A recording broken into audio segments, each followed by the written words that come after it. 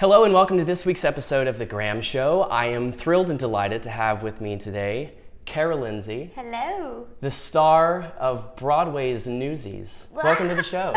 Thank you. Thanks so for much for being me. here. Absolutely. So, you're making your Broadway debut in a starring role in a hit musical on Broadway.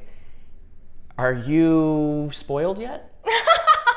Wow, I wasn't expecting that. um, no, I think when you just said that starring in a Broadway show, it still shocks me because it's. I guess it still hasn't hit me yet. I mean, I, I it's unbelievable. I still pinch myself and. I was in two other shows that were potential Broadway shows, Right. And you know, we got our hopes up, and we were really excited, and then, um, and then it didn't happen.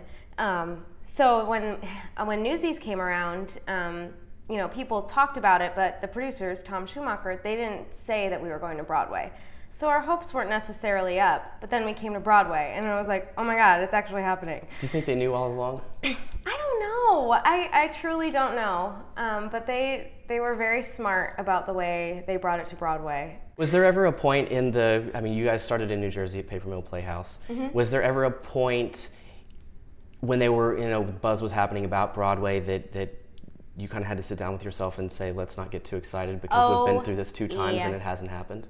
Oh yeah, oh yeah. I mean that was hard. It was Lone Star Love and then Little House on the Prairie, and uh, with Lone Star there was a marquee up at the Mm-hmm. Belasco, and then it didn't happen. And that turned into a bit of a That was a lot saga. of drama. That was my first professional job, and we Oh. kicked Randy Quaid out of the union, and I had just joined the Who's union. I Dennis was like, Quaid's brother? D- yes, and I- it was absolutely insane. I was like, "Is this what the business is like?" So tell us a little bit about your character, Katherine Plumber. Yeah, she, well, she's brand new from you know the movie in 1992. There Right. was this one girl who fell in love with Jack, but it, she was barely there, practically non-existent. And um, Harvey Fierstein, who wrote the book for the musical, he wanted to make the love story more prominent and kind of add another layer of you know women's women fighting for their rights because that was huge at the turn of the century, which is when this takes place. Um, so Katherine Plumber um, sort of takes place of the Bryan Denton role in the movie, who is the reporter who writes the the article about the Newsboys strike when they start forming that union. And So she, you know, she's well off and she's young and just starting out in the workforce and trying to prove herself. The only jobs that women really got in terms of journalism was for um, for shows like little fluffy shows and um, uh, fashion and stuff like that. That was very womany, Sure. woman-like. Yeah. So she was trying to branch out and you know um, do the big issues that the men were reporting on, and um, she kind of sneaks behind people's backs and um, and does that. So I based this on Nellie Bly, who was um, a journalist back in 1899, and she was a fighter. She was fearless, and I, I read a bunch of books about her, and it's all true, and it's hard to believe.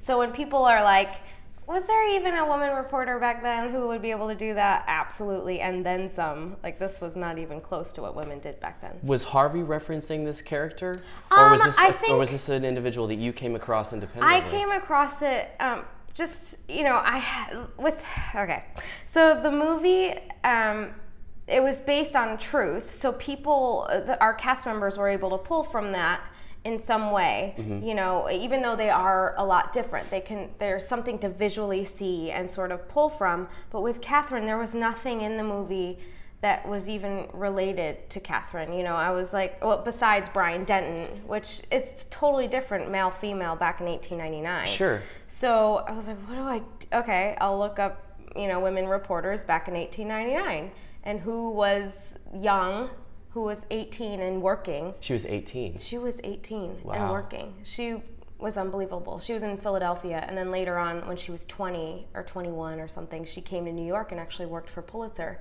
She demanded that No he see kidding. her. You're, you're originating this role, so how much of it do you feel like they were writing for you, and how much of it was was kind of already in place before you came into?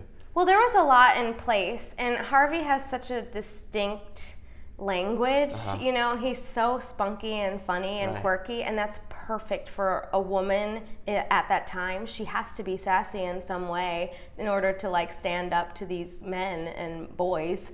Um, so I think you know there was a lot there because of who he is and how brilliant he is with comedy and just making sense of personalities.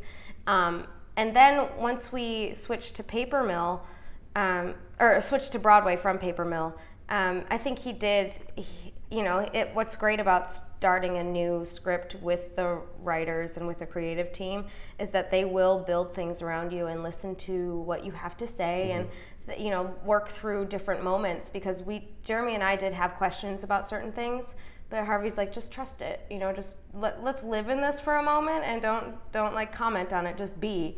And that was the rooftop scene for a little a little while.